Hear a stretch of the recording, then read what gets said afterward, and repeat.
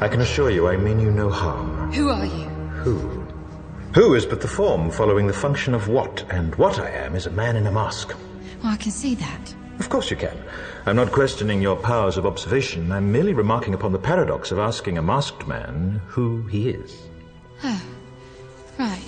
But on this most auspicious of nights, permit me then, in lieu of the more commonplace sobriquet, to suggest the character of this dramatis persona. Voila! In view, a humble vaudevillian veteran, cast vicariously as both victim and villain by the vicissitudes of fate. This visage, no mere veneer of vanity, is a vestige of the vox populi, now vacant, vanished. However, this valorous visitation of a bygone vexation stands vivified, and has vowed to vanquish these venal and virulent vermin, vanguarding vice and vouchsafing the violently vicious and voracious violation of volition.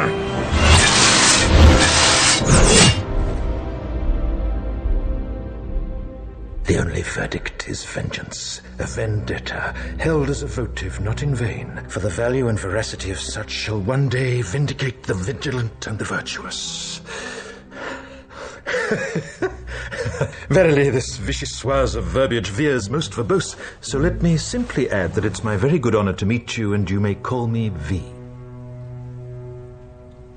Are you like a crazy person? I'm quite sure they will say so. But to whom might I ask am I speaking? I'm Evey.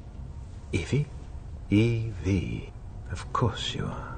What does that mean? It means that I, like God, do not play with dice and do not believe in coincidence.